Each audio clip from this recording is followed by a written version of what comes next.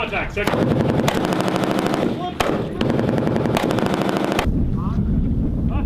Hey, we got troops, boys! Hey.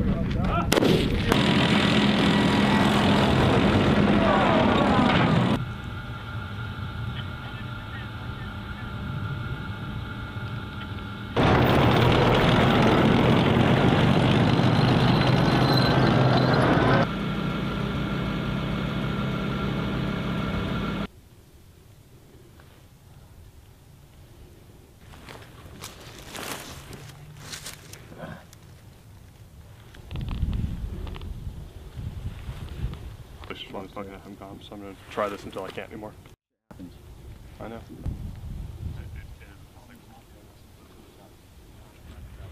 But to.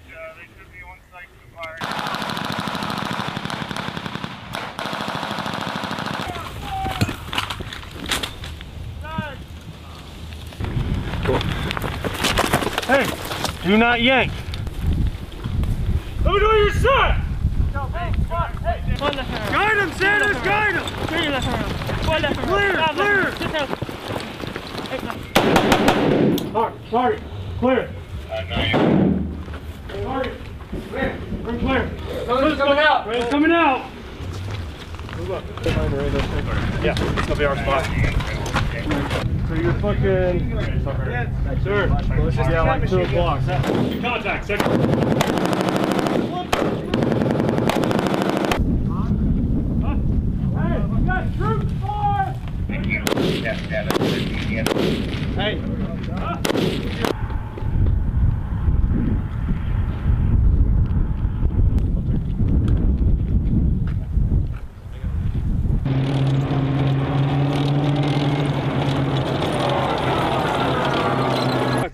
Start, uh, creeping up. Let's go. Get first.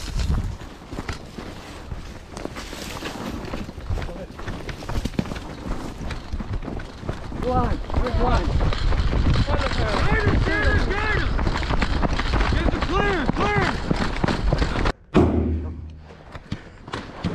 Left. Target. Where? Room clear. Move up. To the right?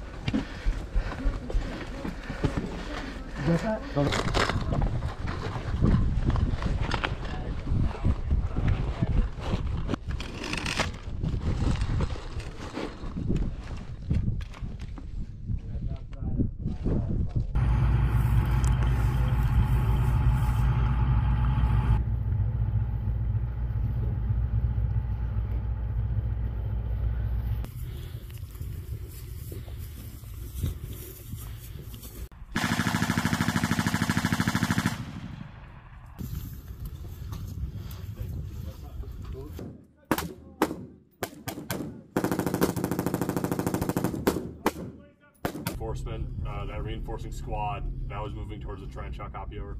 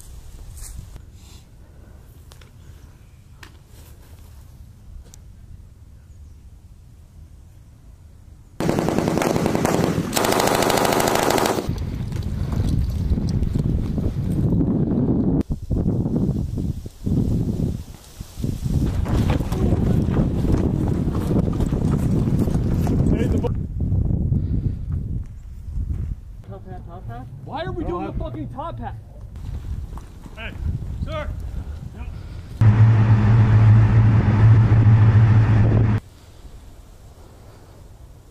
Targets, targets taking a while to load.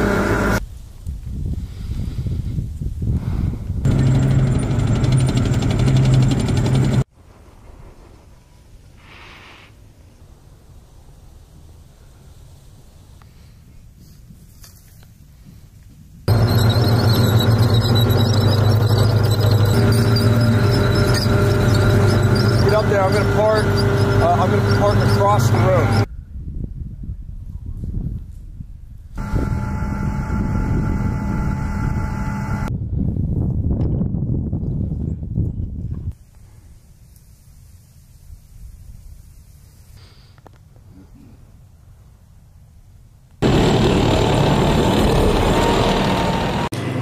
I'm, I'm Specialist Gifford, and I am the saw gunner for 1st Squad, 1st Platoon, Charlie Company. I dismounted from a Bradley after the Bradley engaged multiple vehicles. Uh, went on a patrol and I assaulted and took a trench, then defended the trench and broke contact. I'd have to say, personally, is getting to shoot. It's always a good day when you get to shoot, but it also is good to see how Bradleys and dismounts can also work as a combined operation. These exercises, um, assaulting trenches, working with other elements such as en- engineers, uh, being cold while we do it. That's that's definitely not the the unideal situations that are realistic that you aren't going to get from just doing drills in a cough.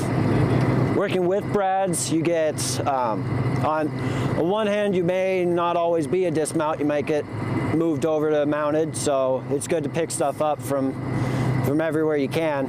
But also, it's good to see what they can do for you, uh, things that you may not know about that you have to look out for with the Brads. It, it's just good to, all in all, them know stuff about us and we know stuff about them. We do everything. Uh, we, we help out the Brads, but when we're on our own, we're doing patrols, patrol bases. We're anything from listening, po- listening posts, observation posts. We could be on a uh, a javelin team. We could be doing ambushes, recon, uh, assaulting positions, assaulting trenches, anything light infantry is needed to do. CALFEX is a combined arms, live fire, and training operation. Uh, ours, in this one, took a week, starting last Sunday till today, which tonight will be our uh, night live fire for taking the trench again. Uh, I've seen tanks, Brads, dismounted infantry. Uh, the entire battalion's been out here. They have a they have their own idea of how it's gonna play out and where where people are gonna be, where they're gonna be aiming, and it's it's good just to get a dry run through to get to see in real real life. Okay, who's aiming where? Is this gonna be a bad thing before we actually look at loading up rifles. You can do repetitions in day a whole lot, and you'll you'll cut out a lot of kinks. You'll see what what's stopping you back from flowing. But once you add night in there, you're gonna have a whole new list of list of kinks that you need to work out. You you may be able to flow as smooth as water during the day, but as soon as you can't see with your own eyes, that's a big indicator of oh, this is different.